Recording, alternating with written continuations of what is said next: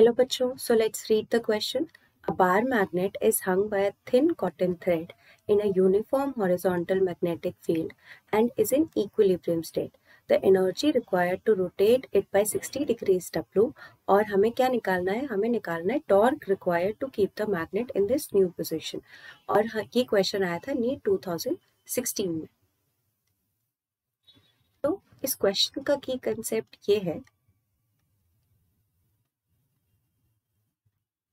कि work done is equal to final potential energy minus initial potential energy अब हमारे initial potential energy कहाँ पे आएगा?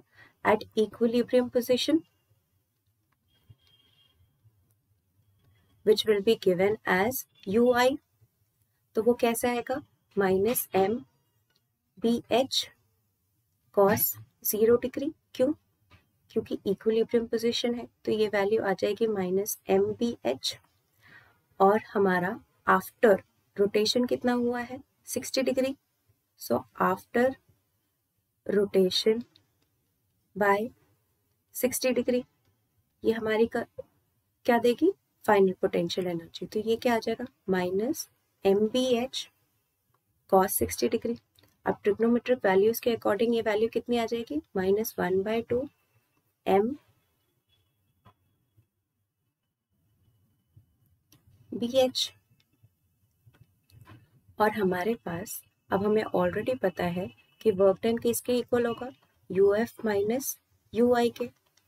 जिसको हम लिख सकते हैं minus one by two M B H minus of M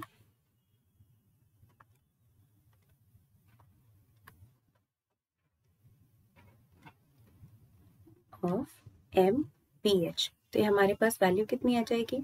One by two M P H अब अकॉर्डिंग टू द क्वेश्चन हमारे पास गिवन है कि ये जो वर्क डन की वैल्यू है, वो है डब्ल्यू जब रोटेशन हुई है बाय सिक्सटी डिग्री और हमें पता है कि torque on the bar magnet in uniform magnetic field is is as M B sine theta.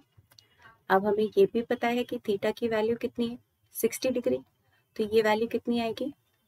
Root three by two M B अब अगर इसको हमने इक्वेशन वन लेबल कर दिया है तो यूजिंग इक्वेशन वन हम टॉर्क की वैल्यू को क्या लिख सकते हैं?